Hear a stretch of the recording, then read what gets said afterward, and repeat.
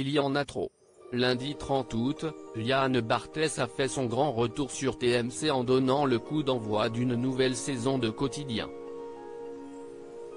Un talk show en pleine concurrence avec cet à sur France 5 et Touche pas à mon poste sur C8, qui va connaître cette année quelques changements avec les départs de Paul Larouturou et de Salia Braclia.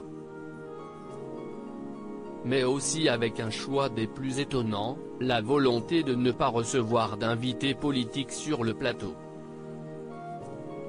Une décision inattendue tandis que 2022 est une année charnière politiquement parlant en France, avec les élections présidentielles. Il n'y aura pas d'invité politique cette année, a ainsi annoncé Yann Barthès au micro de Sonia De Villers dans l'instant M sur France Inter.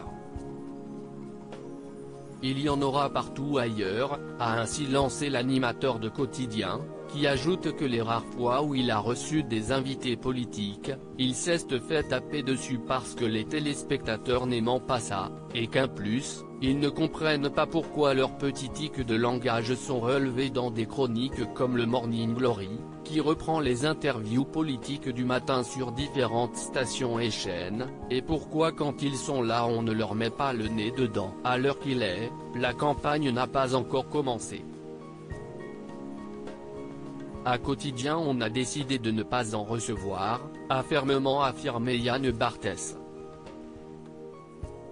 Éric Zemmour bientôt invité de quotidien Toutefois, les politiques ne seront pas les seuls à ne pas être reçus sur le plateau de quotidien cette saison, puisque le journaliste a affirmé que Éric Zemmour, bientôt en pleine promotion de son prochain livre, ne serait pas invité dans l'émission de TMC. Et ce pour une bonne raison. Pour la seule et bonne raison qu'Éric Zemmour ne cesse jamais placé dans la position d'être interviewé. Il est toujours dans le débat.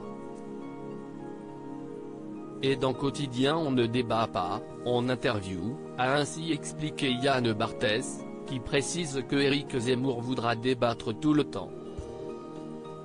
Il ne sera jamais d'accord avec vous, il voudra vous contredire donc non.